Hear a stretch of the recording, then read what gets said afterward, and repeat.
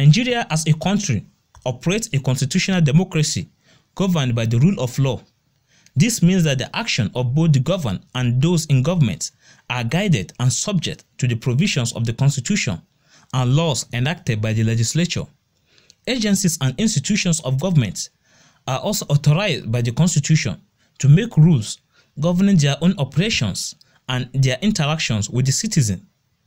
The constitution, the laws, rules and regulations therefore govern our democratic order.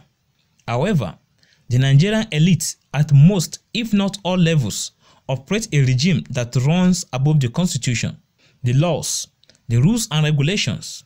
The behavior of Senator Ali Ndume on his arrival at Nnamdi Azikiwe International Airport, Abuja, some months ago reflects the attitude of the Nigerian politician to the matter of the law. Anyone that will stay, let him stay. Anyone that will stay. Let's Senate President.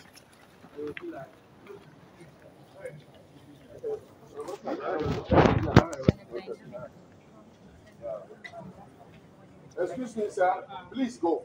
Just go. I've spoken to him. You don't need all this again. Please, just go. Even he tried to push me.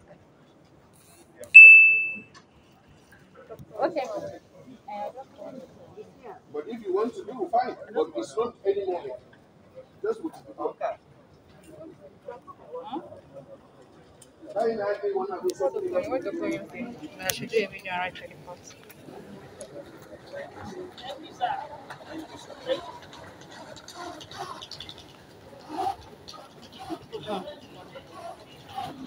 Please, what's the time? Huh? It's everybody passing. Huh? I just everybody passing. Maybe Senator Ndume is not alone in operating above the rules and regulations. Last week, operatives of the Economic and Financial Crimes Commission (EFCC) invaded the residence of Senator Rochas Okorocha, a former governor of Imo State, to forcefully arrest him. The former Accountant General of the Federation, Ahmad Idris, on May 16th, was also arrested in Kano. Both public officers had refused to honor the invitation of the EFCC, acting above the law and forcing the agency to apply force. You can't fight corruption without transformation oh, you know, of the Nigerian judicial system. Therefore, it has to be transformed. It has to be reviewed. It has to, you know, certain fundamental changes have to take place in the Nigerian. That's have a, a, respect for the rule of law. That's why uh, people in Nigeria will be protected adequately, and all criminals are, you know, punished appropriately in accordance with what they have, the crime they have committed so far in the country. If the president is very active and the president is showing his concern, and the president, you know, uh, uh, has paid his uh, is paying his attention towards this, and without any paper of any uh, uh, uh, body whosoever commits any crime in terms of corruption should be dealt with appro- with the in accordance Nigerian. According to the principles of the rule of law, every citizen is equal before the law.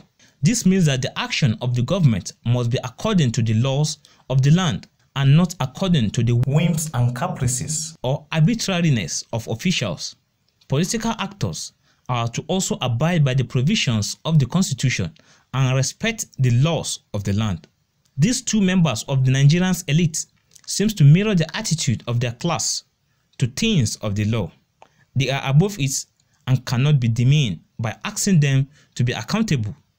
What is the legal implication of their actions? Over the years across the world and in numerous and various jurisdictions, um, it has been proven, and rightly so, that when any person knows that there is consequence or there are consequences for any misconduct or wrong or crime, definitely I can tell you that such a person will always be very mindful of engaging in crime or criminality or even civil wrong.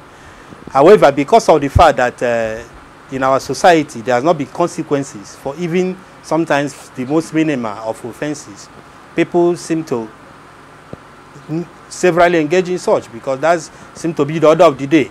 It is not that we don't have those institutions, but they are very weak, fragile, and uh, seem to tend uh, towards the powers that be.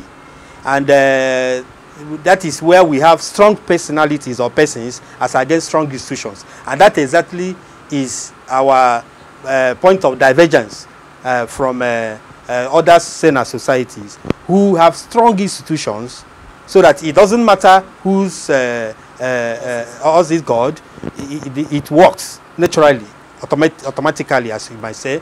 But here, it depends on who is in charge. Many politicians of any social weight drive against the traffic, disobey road signs, ignore aviation safety rules, call the bluff of the police, disobey security officials' invitation, and snub the courts.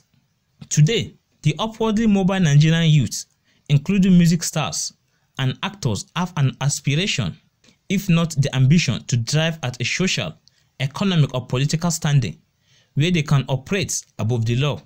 That will show that they have arrived. Offenses as simple as uh, traffic. Probably you jump traffic. Um, definitely you will be 95 to 99% be held accountable for that because there are um, automated measures put in place to catch you. And I want to emphasize the word catch you wherever you may run to. That's where you say you can run, but you will not hide. They will even come and serve you such uh, uh, uh, in your probably your residence because of their social database. And uh, because of that, most people seem to be very cautious of that. And uh, the, Sena society seem to have institutionalized the culture of uh, ensuring consequences are borne by persons who commit offenses and crimes.